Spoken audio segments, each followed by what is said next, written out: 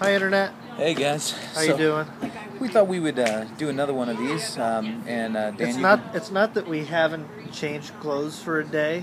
it's the same or, day. Or a weekend because I guess this is probably I do kind of wear this. Is this all gonna go up on. Monday or? Let's put this up tomorrow. Well, we put it up today. Let's just do it today. We're gonna Wow. give you two today. Two in one day? and we won't do anything tomorrow Okay. on Saturday. We'll do that. You get a day of rest from watching us. All right. So anyway, question. Harder right question. Little little bit harder than some of the ones we've dealt with before. question. So when Jesus says, "Go and sin no more" to the woman who was caught in adultery, what does that really mean? I mean, is it really possible to go and not sin anymore? Yeah, here's what this kind of comes down to, um, and is is are you can you are you supposed to sin at all after becoming a Christian? And and really, if you go and search the interwebs, um, you're going to find two extremes in this camp.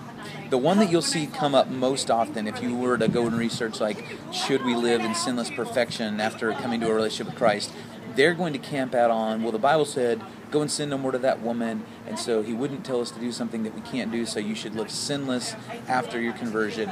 There's other and there's other scriptures they would point to that say, well, it says those who continue to sin or those who keep on sinning um, have no part in the kingdom of God.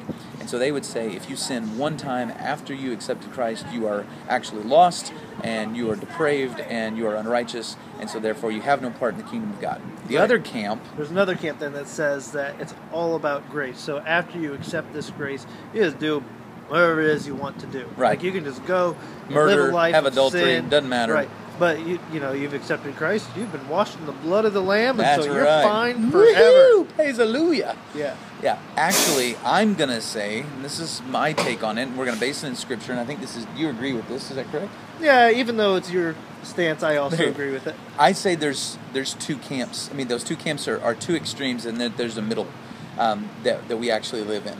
Um, so the first question is: Should we be striving for sinless perfection? Yeah, why not? I mean, every day we want to make it our goal to live greater and more boldly for Christ and live in less sin than we did the day before. So yes, we want to make that the endeavor. Are we going to always succeed?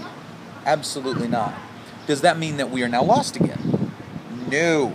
And I'm going to base that on some stuff. First off, the Bible tells us that if we claim to have no sin, we are a liar and the truth is not in us. So there is there is not a way where we can go, I don't have any sin, I don't sin anymore. Because as soon as you say it, You're a you've sinner. Just sin. You're lying. oh, So uh, even look at even look at some of the uh, heroes of our faith.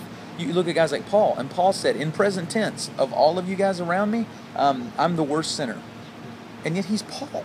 I mean, Peter gets called out for sinning. yeah, called out by Paul. Who I mean, he's like he's being hypocritical, and Paul goes, "That's that's wrong, bro." So are we saying this is post Pentecost? Are we saying the guy who preached the day of Pentecost, where thousands are saved, is now suddenly lost again? That's ridiculous. So here here's the deal. First off, to the woman caught in adultery, this is my opinion, but I think he's actually dealing with the context of this woman's I thi- life. yeah, I, I agree. I think he's saying, go commit the sin of adultery no more. Right, she was a prostitute.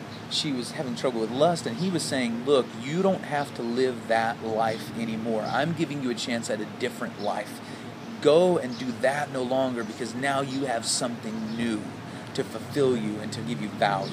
Right. And what did we expect Jesus to say at that point in time? Did we expect Jesus to say, "Go, just have yourself a good time, keep doing what you're doing"? It's, Of course it's, not. It's totally fine. Yeah, I think the other thing is that we that maybe we miss, and what Paul is getting at, it's, it's we, we get from New Testament scripture, those who continue to keep on sinning, those who those who who um, gosh, I'm- I'm going blank on the scripture right now. Um, it, it says it says those who sin, those who continue, Yeah. continue to sin, those who live in sin.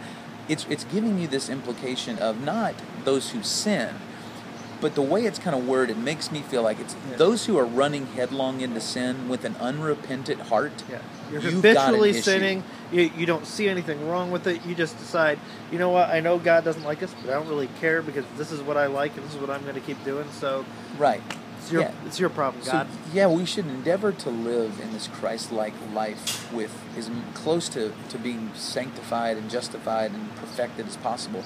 We're not going to succeed most of the time, but that doesn't mean we shouldn't endeavor to. Um, and so, what we look at, and, and there's not any life short of Christ that you can look at in Scripture where that sinlessness is even modeled. And so, yeah, we should we should look at trying to do better and better each day, but we also have to um, have to come to grips with that reality that confession and repentance is a continuing ethic of the believer.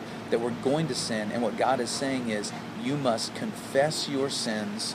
It says, those who continue to live in sin blah, blah, blah, blah, blah. It also says, confess your sins one to another, and God who is faithful and just to forgive our sins. So we continue to live in His grace and His forgiveness because of our continuing ethic of confession and honesty to our God. Right. I, think it's one of the most beautiful things about grace is that it doesn't matter, you know, how many times we mess up, and we're going to continue to mess up. We're going to continue to fall short. But at no point is God's like, you know, I've given you tons of chances. I'm just done with you now. Right. It, God's grace is just that, that's why they write songs like Amazing Grace. Right. Because it's kind of amazing, really it's is. And uh, and so you always get to come back to it, and it's a beautiful thing. So You guys are fantastic. It's really it's been awesome doing this. We got a lot more to go, and we're gonna get deeper and deeper. But uh, we're having fun with this. this is uh, part what six of a Yeah. seven thousand eight hundred forty-two part series. So Listen, Got a ways we want to see you guys at church this weekend. It's going to be a great weekend. come to church. Come to church. We've had some conversations even this morning with some people. God is doing some stuff in their life, and Even if you're watching this in like Duluth, Yeah. Come to Anderson Hills Saturday night. if you don't off. come to, you can go to your own church. Saturday But- night, like if this We'd like is you the chain. Saturday night's off of it. It's amazing. Yeah, And Sunday morning, if this is a hook, off the hook. Wow. You don't want to. That's Off amazing. hook.